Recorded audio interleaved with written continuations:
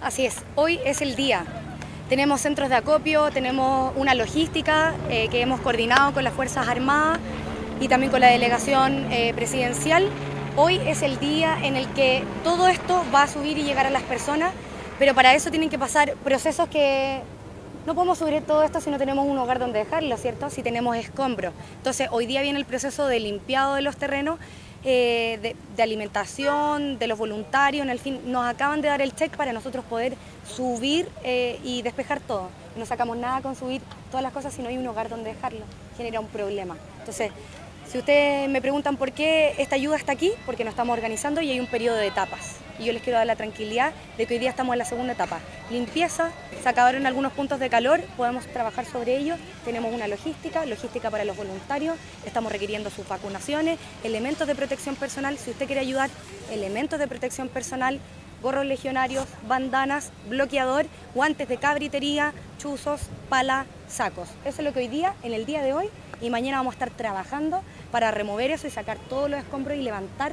eh, digamos, las zonas siniestradas. Y lo otro, que es muy importante que lo conversábamos con los equipos, yo no solamente estoy planificando el día a día, sino que estoy proyectando lo que va a pasar después. En algún momento ya no van a existir las cámaras, en algún momento van a haber otros incendios que eventualmente pueden existir y necesitamos una proyección concreta para dar una, una salida a lo que acaba de ocurrir. Hay personas que tienen sus títulos de dominio en la mano, hay personas clase media, hay personas que son de campamento, hay una diversidad en quienes han sido siniestrados. Por lo tanto, si ustedes quieren también ayudar en lo que viene, usted quiere tener un aporte concreto al día de hoy, tenemos cuentas corrientes de techo que están directamente direccionadas para levantar la vida de las personas que lo perdieron todo. Que son el 14, 23, 14, 20, 20.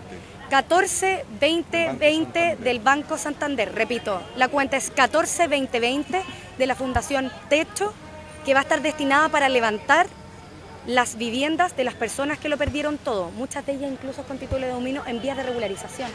Yo les cuento que tenía listas las pavimentaciones seleccionadas y con RS, que se llama, que son todos los chequeos técnicos para pavimentar la subida a la colina, por donde hoy día están subiendo los camiones para llevar la ayuda y sacar los compras de la gente. Entonces, no podemos detenernos, no podemos esperar 20 años y que esto quede así.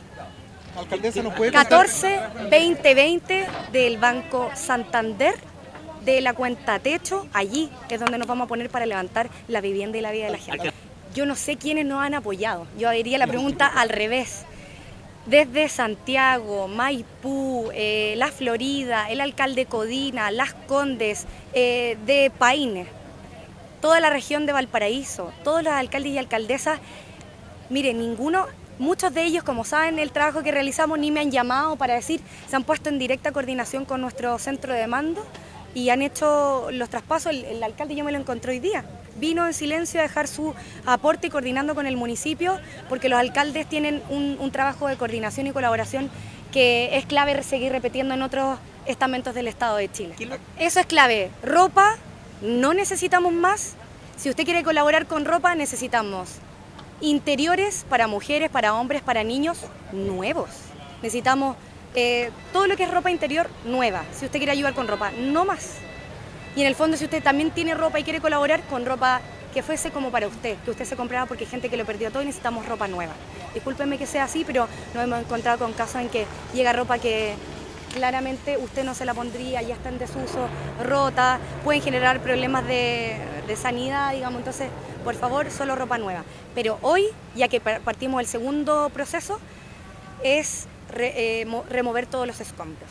Y en ese sentido necesitamos lo que ya les he dicho, gorros regionarios eh, o bandanas, bloqueador, antiparras, guantes de cabritería, chuzos, palas, sacos. Todo eso al centro de acopio de materiales Jonathan Araya, Araya que queda en el tranque sur en Forestal.